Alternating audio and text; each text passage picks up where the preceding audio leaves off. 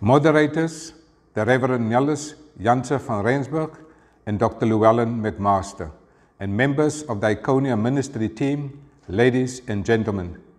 Good morning and thank you for this opportunity to join you at the annual general meeting of Diaconia ministry team. The COVID-19 pandemic has emphasized the fact that the religious leaders, faith-based organizations and faith communities can play a major role in saving lives and reduce from any other source. They can provide pastoral and spiritual support during public healthcare emergencies and healthcare challenges and can advocate for the needs of the vulnerable populations. By sharing clear, evidence-based steps to prevent COVID-19, religious-inspired institutions can promote helpful information, prevent and reduce fear and stigma, provide reassurance to people in their communities, and promote health-saving practices. Religious leaders are integrated in their communities through service and compassionate networks and are often able to reach the most vulnerable with assistance of health information and identify those most in need. Religious leaders are a critical link in the safety net for vulnerable people within the faith community and wider communities.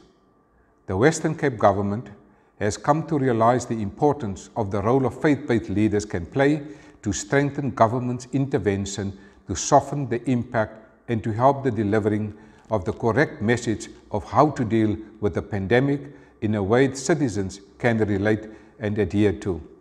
The leadership and management of the Western Cape Cabinet has subsequently resolved to have regular interactions with the Western Cape faith-based organizations and the religious leaders dealing with the pandemic of COVID-19.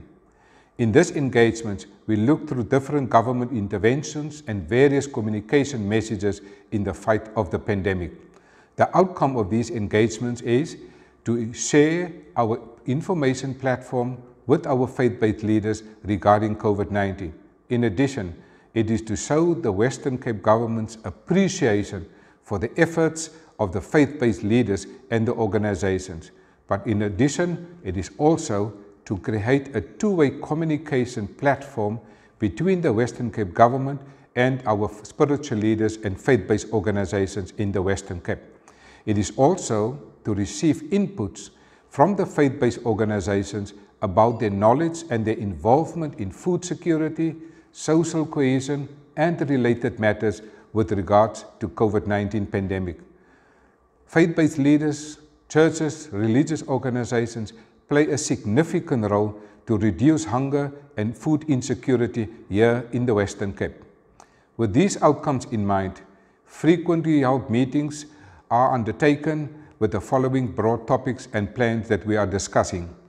A. The humanitarian relief plan and information regarding various regulations and information on the voucher system and schemes. Secondly, also to look at funeral and bereavement plans and also to share with the faith-based leaders the health COVID-19 response plan and regular updates.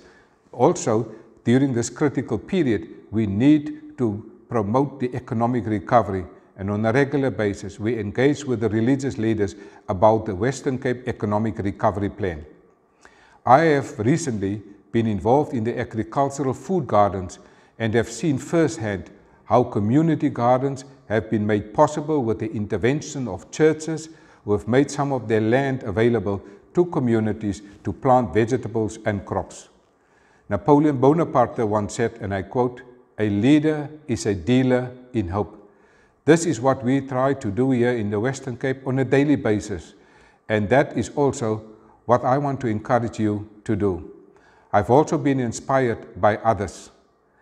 The media statements that I've issued over the last three months have left me with a deep sense of pride to be associated with the agricultural sector here in the Western Cape. I've also been encouraged by the generosity of ordinary citizens, big corporations, agricultural producers, farmers and farm workers. During this week, I've also lost my own father, Um Piet Meyer, and it was this united body that came to comfort my family through the letters that I have received from Reverend Dr. Llewellyn McMaster and the Reverend Niels Jansen van Rensburg. I value and appreciate their spiritual comfort and healing over my family during this time of bereavement. Over the years, we have seen and experienced the healing and spiritual direction of the United Dutch Reformed Churches. They were a source of strength and an anchor during difficult times. Today, South Africa is experiencing difficult times again. And after all, we are now turning our faith to you, our spiritual leaders, and our pillars of strength. During this time, I have witnessed levels of fear and enthusiasm. Through the work of our spiritual leaders, we have overcome fear. This is evident when you see scenes in South Africa where people are dancing to the song Jerusalem. It is scenes of hope and enthusiasm. The word enthusiasm is derived from the Greek word entheos, meaning filled with the Spirit. Today, I am filled with the Spirit of hope and love. It is also heartwarming to see how many of the world's faithful organizations have altered their long-standing religious practices to avoid spreading the new coronavirus. The religious practices of hundreds of millions of people are undergoing profound changes in response to COVID-19 pandemic. This crisis has prompted many religious leaders to appeal to their followers to not only take safety precautions but also to embrace the spirituality to help confront the health, social, economic challenges that we are currently experiencing globally.